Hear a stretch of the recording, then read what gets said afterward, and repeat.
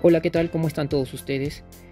Bueno, en el video de hoy vamos a ver un poco lo que son las interrupciones, precisamente las interrupciones externas con el microcontrolador 18F4550.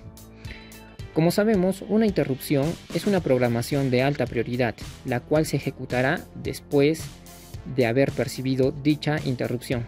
Esto quiere decir de que el, el microcontrolador dejará de hacer la programación habitual o la programación que está dentro de la función principal y ejecutará inmediatamente la programación que genere la interrupción. El 18F4550 cuenta con varias interrupciones. En este caso vamos a analizar un poco lo que son las interrupciones externas. Este microcontrolador cuenta con tres interrupciones externas de alta prioridad, las cuales están asociadas a los pines RB0, RB1 y RB2. Para este ejemplo lo que estamos haciendo es de que el LED encienda cada 200 milisegundos y se apague cada 200 milisegundos también. Esto de manera indefinida ya que está dentro de la función principal y dentro de un bucle while. Esa va a ser la función principal que va a ejecutar nuestro programa. Pero mediante el uso de una interrupción externa, en específico de la interrupción externa 0 asociada al pin RB0, nosotros vamos a hacer que nuestro programa se interrumpa y vamos a encender y apagar el primer LED, el que está apagado en este instante. ¿sí? Este LED que está aquí.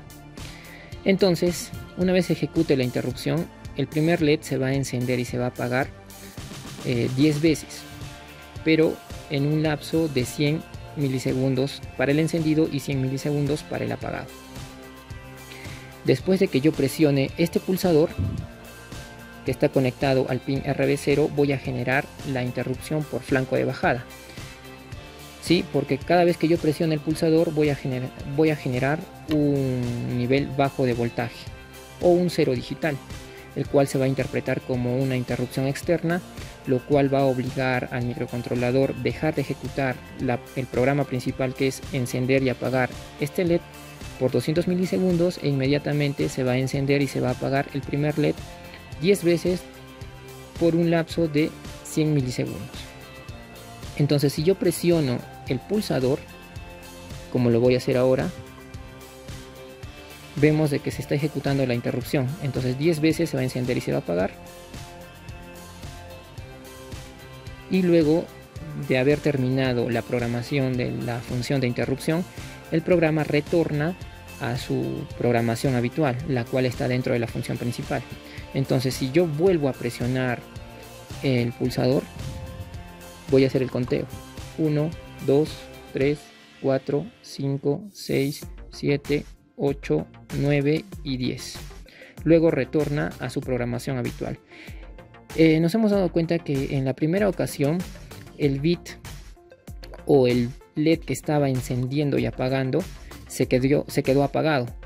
¿Por qué? Porque justamente en ese instante fue cuando yo llamé a la interrupción externa y dejó de ejecutarse ese programa para ejecutarse en la programación de la interrupción externa.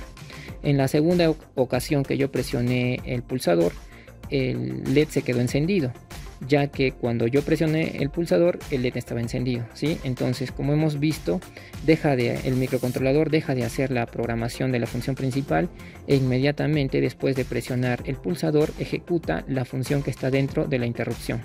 Ahora vamos a ver lo que es la programación.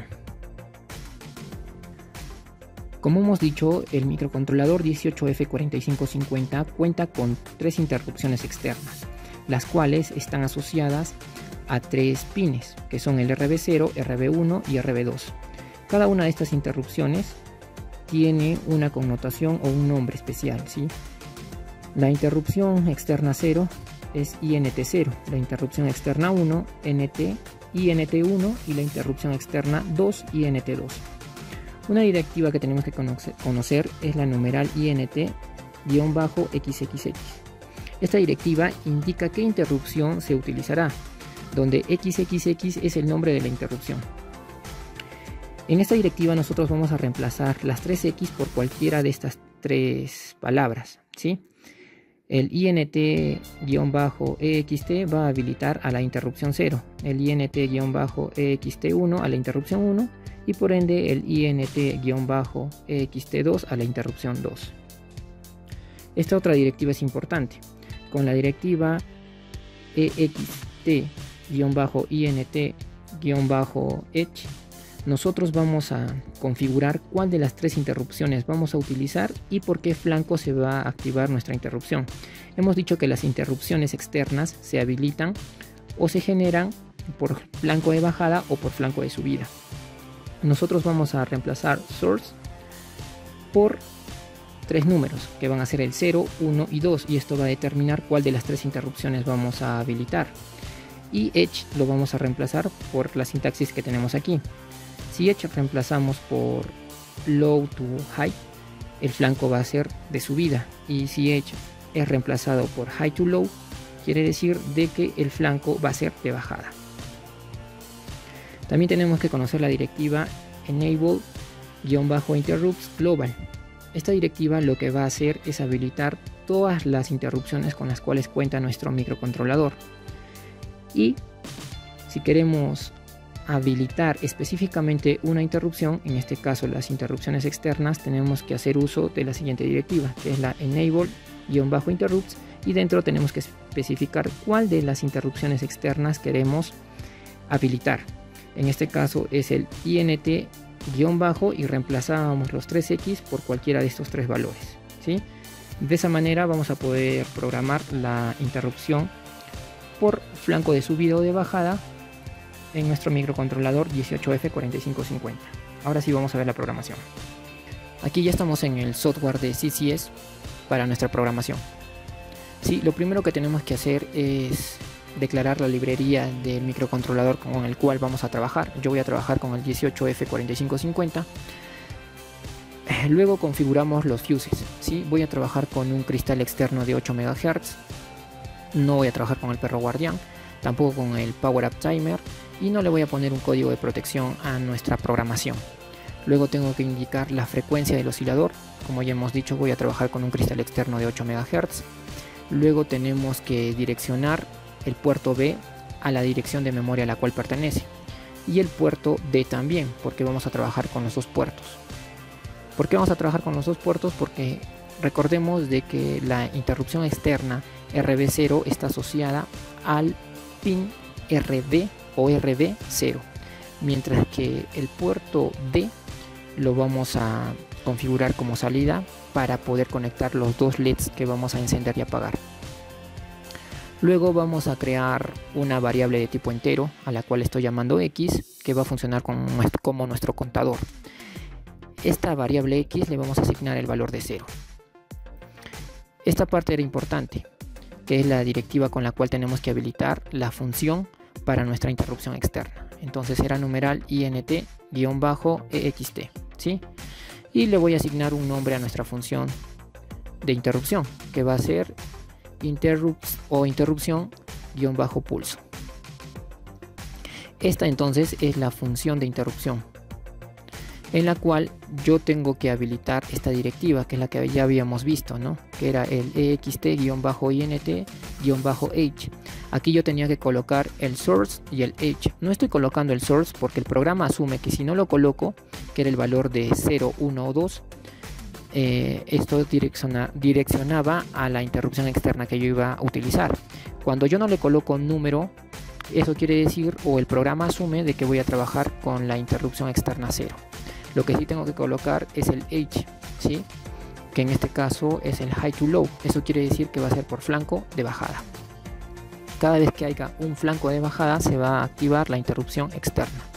Seguidamente estoy creando un bucle for. Este bucle for va a empezar con el valor de 1. X va a asumir el valor de 1 y mientras que X sea menor o igual que 10, X va a incrementarse en una unidad. Entonces dentro de este bucle for mientras que X sea menor que 1, yo voy a hacer que el LED asociado al pin RD1 se encienda durante 100 milisegundos. Seguidamente, este mismo LED que está asociado a este pin RD1 se apague otros 100 milisegundos.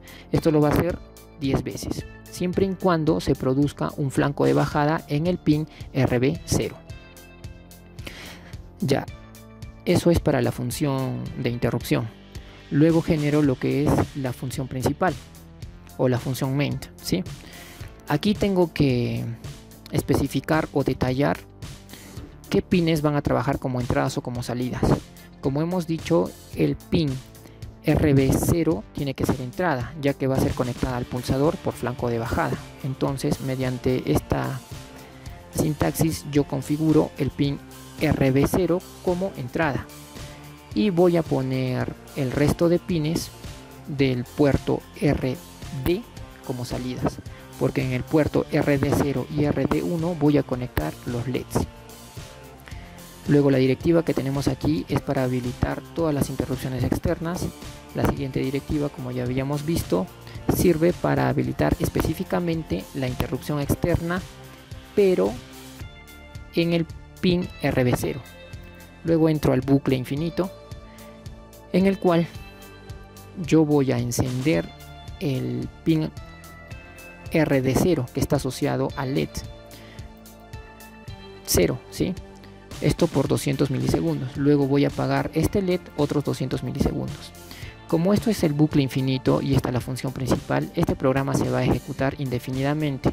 Va a estar encendiendo y apagando el LED hasta que se, produzca una interrupción. Esta interrupción yo la voy a producir por flanco de bajada por el pin RB0 mediante el pulsador y se va a ejecutar eh, el bucle for, el cual va a encender y apagar el primer LED durante un periodo de 100 milisegundos. Ahora vamos a ver lo que es la programación en Proteus. Ya estamos en Proteus en el cual podemos apreciar el diagrama esquemático para la implementación de una interrupción por flanco de bajada con el microcontrolador 18F4550. Como habíamos dicho, eh, este pulsador está conectado a tierra, ¿sí? Eso quiere decir de que cada vez que sea pulsado me va a generar un flanco de bajada o un bit cero. ¿Por qué? Porque esta resistencia tiene una configuración de pull up. Eso quiere decir de que siempre le está llegando al pin RB0 un nivel alto o 5 voltios hasta que yo presione el pulsador y le llegue un nivel bajo o 0 voltios. ¿Sí? Entonces hemos dicho de que este pin que va a ser el que va a generar la interrupción externa por flanco de bajada es el RB0.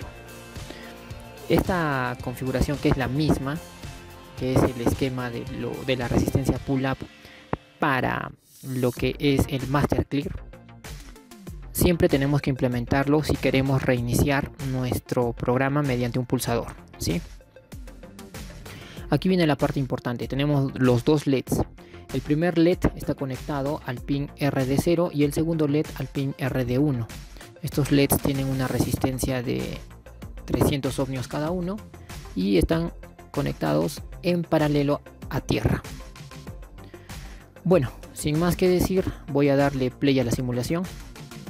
Entonces, como habíamos dicho, el programa principal hacía de que el primer LED o el LED que está conectado al pin RD0 se encienda y se apague cada 200 milisegundos de manera indefinida hasta que se produzca una interrupción externa. Cuando se produzca la interrupción externa, el LED se puede quedar encendido o apagado. Eso no importa. ¿Por qué? Porque el programa va a entrar a la función de interrupción externa y va a encender y apagar el segundo LED por o 10 veces, lo va a hacer 10 veces en un lapso de 100 milisegundos tanto para el encendido como para el apagado. Una vez que se termine de encender y apagar las 10 veces va a retornar a la programación principal y se va a volver a encender o apagar por 200 milisegundos y de manera indefinida el primer LED. Entonces vamos a generar la interrupción presionando el pulsador. Presiona el pulsador y vemos de que 10 veces se va a encender y apagar el segundo LED. Una vez que termine de encenderse y apagar y apagarse, va a retornar a la programación principal y va a encender y apagar el primer LED. Vuelvo a generar la interrupción. 1, 2, 3, 4, 5, 6, 7, 8, 9, 10. Terminó de ejecutarse la función principal, la función de interrupción y retorna a la función principal. Bueno amigos, espero que este video les haya sido de utilidad. No se olviden de suscribirse a mi canal y darle like a este video. Gracias.